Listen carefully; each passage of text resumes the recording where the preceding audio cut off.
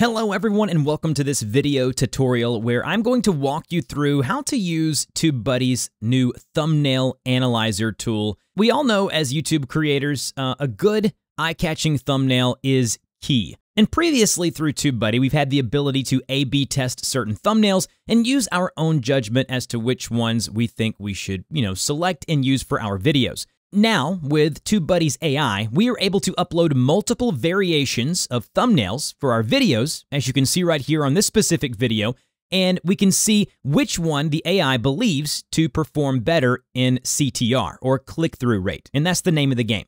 Uh, people are not going to consume your content if they don't click on your video first. That's fairly obvious. So this tool allows us to pick the thumbnail in which the AI uh, thinks will have the best performance when it's shown to potential viewers.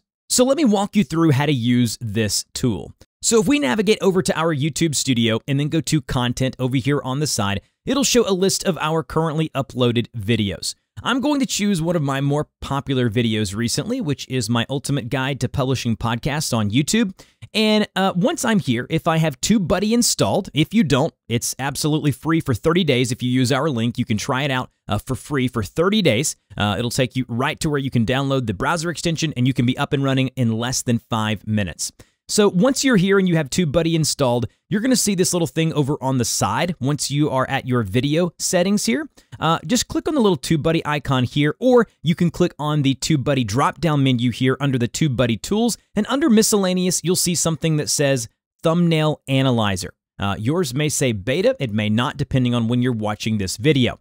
Now, under the Thumbnail Analyzer, you will have the ability to upload or just drag and drop multiple variations of a thumbnail for a specific video. So as you can see here, I've uploaded four different thumbnails. This one right here is the one that I'm currently using. Uh, these two down here are deemed to be less effective, but this one here at the top is said to be 11% better. Now again, with anything, this is AI, artificial intelligence. There is no guarantee. This is not a perfect science but it is a tool that I believe can help you take your thumbnail game to the next level. So go ahead and upload three, four, five thumbnails and see which ones it says will perform the best. Whether it's a video you've already uploaded and have a current thumbnail, you can see it'll show whether it's an improvement or not, or if it's a brand new video that you're uploading right now, you upload the variations before you make it public and it'll tell you which one will have the best CTR.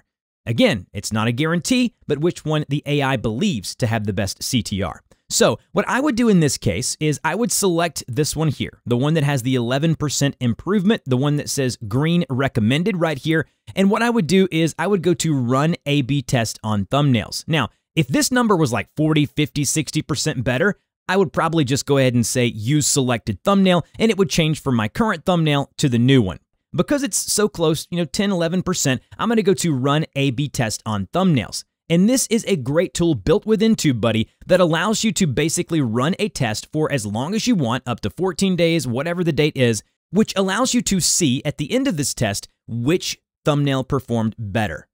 At the end of this, you will know exactly from the data provided by YouTube and TubeBuddy which thumbnail performed the best. So what I would do is I would go to until it reaches statistical significance because at the end of the day, if you just do 14 days and the video only has like 50 views, you're really not getting anything from that. But if you are a small channel, maybe 14 days is best for you. And then you would want to start it right now. Start as soon as possible and go to next here.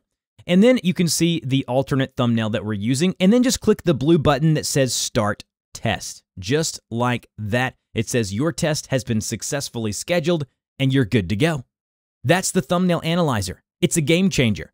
AI, as we know, is going fast and furious. You're going to see more things like this come down the pipeline. This is just the first of many things that I believe TubeBuddy will be releasing around AI that's going to be able to help you as a YouTube creator. Let me know what your favorite TubeBuddy feature is down below in the comment section, and I really appreciate you guys watching this video tutorial, and I will see you guys in the next video.